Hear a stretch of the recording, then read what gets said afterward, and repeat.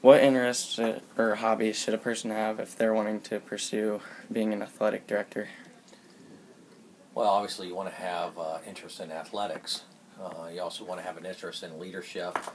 Um, you know, do you play athletics yourself? Yep. Okay. When, when you play athletics, you, you take on leadership roles. So that's the biggest thing. You got to have an interest in athletics, interest in leadership, and obviously an interest in kids. So that's the biggest thing. Uh, what is the most challenging part of your career? Most challenging part is just probably the time commitment because it's basically, you know, 14 hour days, uh, six days a week.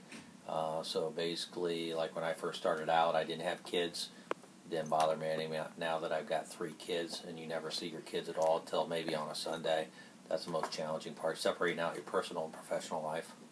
So, uh, what is the most rewarding part of your career? Most rewarding part is actually, believe it or not, is when the kids the kids succeed. Uh, they do well. They seem to enjoy themselves uh, on the fields or on the courts, things like that. Um, you know, obviously everybody wants to win a state title. We've won a few here. Yep. But it's not just about that. It's about uh, a kid that maybe doesn't get to play a whole lot, and all of a sudden he goes out there and has a great game or something like that. Whether they win or lose, he has a great game, and, and that's kind of rewarding part. Seeing the kids that's in the hallways, and maybe they they don't uh, have a lot of things going on in their life, and, and, and maybe it's a soccer game or it's a, a football game or a softball game or something like that, and, and they get excel in that, and that's that's kind of rewarding part. It's pretty cool. Uh, so, what's a typical day like? Oh, typical day. I get to school probably around 7 a.m. And then uh, you start out with, like me, I'm also the assistant principal, so I start out with a lot of those duties, you know, covering the buses in the morning, things like that. Then you come back in, then you start to going through your emails, clearing those things out. Um, and then you deal with a student here, a student there. Um, maybe it's somebody coming in needing a recommendation, or maybe it's somebody coming in to buy tickets. Um, then you get some parents coming in and things like that, so you want to talk to them about certain issues. Uh, had one coming in talking about scheduling and things like that earlier. Um, and then after that, it's lunch duty. And then after that, uh, in the afternoon, it's usually meetings and things like that. I just uh, got done meeting with a coach um, about this past soccer season and so forth. And then uh, all the time in between there, you got to get a lot of your computer stuff down. Uh, athletics now is tremendously involved with uh, computers and computer programming and things like that, scheduling. Um, there's several different programs we have to do now at state requirements, such as MyOHSAA, Arbiter, uh, some things like that. So we have to get that stuff done on the computer. And then, of course, then at uh, 3 o'clock um, here shortly, we'll start game setup. Um, we'll get everything ready. People just think you show up to a game, the game happens, Yeah. and you go home.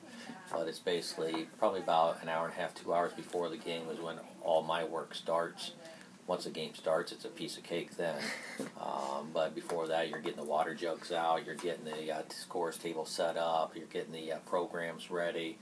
Um, it's just a lot of, you know, getting your music ready, things like that. It's a lot of stuff before the games. And then probably about tonight we got a girls game, so probably about 9.30 I'll uh, wrap it up and head home and do it all again tomorrow. Sweet day. Uh, are you happy with your career choice? Um, I wouldn't change it, put it that way. You know, there's there's times where uh, you know all of a sudden, you know, you, you're working your butt off, you're putting in all these hours, you don't get to see your own family at all, and then all of a sudden you get a, a parent that comes in and wants to complain about their son's playing time or their daughter's playing time or something Yeah. like that, and you, you sit there and say, you know what, I haven't seen my kid in in three days, and you want me to to be upset Yeah. because your child isn't playing two extra minutes in a game, and that that gets to be rough. Mhm. But sometimes the hardest part is you just got to bite your tongue and take it. You can't talk back or anything like that, obviously, and I don't get too upset anyways. But that's the hardest part is just uh, dealing with that. But you know, that's probably ten percent of the year. The other ninety percent is all rewarding things. Oh yeah. Um, what skills would you say are required? I I would say the number one skill skill to be an athletic director is just organization. You have organization because then you're on top of everything. Because uh, I'll be honest with you, you're probably the same way. You don't realize this, but you expect athletics to be perfect. All right, the officials have to show up. The other team has to show up. The ticket sellers have to show up. The money has to be there. Um, everything has to be perfect. Because if one thing is not perfect in athletics, it stands out like a sore thumb. Yep.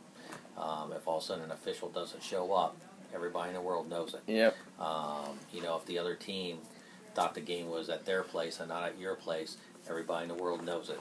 So in, in athletics, you really have to be perfect. So uh, that, that's a big challenge there. Uh, what what type of education did you have to go through? I got my bachelor's degree, um, which got me into education, and I was a business teacher. I was doing some coaching and things like that. Then, as I wanted to get into administration, obviously I had to go back and get my master's degree. So I got my master's in, in education or administration, uh, which then allowed me to get an administrative role. And then you went to two different schools. Where'd you go? I went to uh, St. Francis College or University of St. Francis now for my bachelor's. Is that in Fort Wayne? That's in Fort Wayne. Yeah. Great school. And then um, for my master's, I, I ended up getting my master's at University of Dayton. And then, um, is there any like promotions or anything? Like, obviously, you got the vi- uh, vice principal, but is there anything else like promotions wise? Well, you know, when I first started here, um, I was hired in as the assistant principal and athletic director. Um, and then over the course of time, I don't know if it's called a promotion, but I had duties added on where I also was then getting all the substitute teachers. Um, and then I also was uh, added on as a transportation coordinator, so I do all the busing. Since that time, uh, of course, there was no pay to go with it, so I don't know if you call them promotions. Um, but since that time, the county now handles all substitute teachers, so I don't do that anymore. But I still do all the transportation. I get all the uh, field trips, uh, you know, all the bus drivers for that, all the obviously athletic events. I get all the drivers, set all that stuff up. So I do the transportation, and then, um, of course, with the assistant principal duties. But I'll be honest with you, at Coldwater, I was at Lima Senior before I came here. Being assistant principal at Lima Senior compared to being assistant principal at Coldwater is night and day. yeah, a lot uh, tougher over there. Yeah, just a little bit. Uh, uh, it was a lot more, school. a lot more entertaining. Put it that way. um, what type of opportunities for employment around here was there? Ooh, that's a that's a good question. Opportunities for employment. Um, I think they're going to increase, um, and by that, it used to be, uh, you know, 20, 25 years ago, long before you were born. Um, it used to be if you uh, if you coached, uh, you know, basketball, you could be the athletic director. Um, anymore, it's becoming uh, strictly administrative position, um, almost separated from coaching altogether. Um, so I think the opportunities are actually going to increase because it's not a lot of people want to go to administration because the hours involved in it, um, and also the headaches that gets involved in it. Plus, you work year round when you're in administration. You don't get your summers off anymore. Um, so I think less and less people are going into administration. So therefore, I think the athletic jobs are going to start. I shouldn't say opening up, but there's going to be opportunities there. If you really want to be an athletic director, you can be an athletic director. Where before it was, hey, you know, Coach uh, Coach Joe, you're not doing anything. Why don't you be the athletic director Yeah. this year? That those days are long, long gone. Yep. Uh, if you could go back and redo something, what would that be? Well, that's a good question. That's a very good question. If I could go back and redo something, I would say I would probably stay in the classroom a little bit longer. I think I taught. Um, I thought I think I taught four years before I took over the assistant principal's job at Lima Senior, and then the assistant athletic director. And um, you know, you, you figure your career in education is 35 years, so I'm going to be in administration then for 31 years. That's a long Yeah. time to do the hours that it takes and the headaches Especially that it with takes. kids now. Yes. Um, whereas if I would do it all over, I'd probably been in a classroom a lot longer. Uh, you know, maybe 15 years in a classroom and then 20 years in administration. Just so you know, it's just like anything. After a while, you can get burnt out from. You know, when you're in administration, you get basically you get you just get beat on constantly. Lots of stress and Yes, there's a lot more Headaches. stress, and um, and so, but you know, I, I'm pretty pretty down to earth, pretty stress free, so I don't get too worked up about it. Yeah. It doesn't bother me, yeah, but I don't really show it. So um, that would probably be the only thing I'd really change. um, what's the range of pay from starting like to retirement? For an athletic director, uh, it really depends. Each school is different. Uh, when you're at Celina, Coldwater, um, all the WBL schools, um, St. Henry, um, those are, I don't want to say full time athletic directors, but they don't teach. Yeah. Um, they may have other duties such as um, you know, like myself, I'm an assistant principal, uh, do transportation. They got some of those other duties on there. Whereas you also have other schools like uh, New Knoxville and some of the New Bremen, some of the other smaller schools where you're still teaching half a day, so the pay will vary. Um, if you're at the other schools, your pay is going to be your teacher's pay, and then you'll probably get a supplemental on top of it, maybe ten thousand dollar a year supplemental. Um, where you're my position, where you're full time, you're on administrative salary schedule, and that depends on schools, but it can be anywhere from sixty thousand dollars a year up to I don't know eighty five thousand dollars a year, ninety thousand. And then what benefits are offered to athletic directors? Benefits such as what? Like insurance and stuff like that. Well, when you're in education, you get you get. Uh, I'm not going to lie to you. Education, uh, uh, you know, teachers, administrators, anything they get, benefits are pretty good. Um, now, there's some factories out there as well that has really good benefits, but for the most part, you know, in, in the education world, the benefits are really good. Yeah. Uh, the re- retirement setup is good. Um, you know, the, the medical insurance and all that stuff is good. Obviously, you know, for teachers, you get your summers off and stuff like that, so that's always pretty good. But, Yeah. you know, administrators, we don't get that. But the benefits are really good.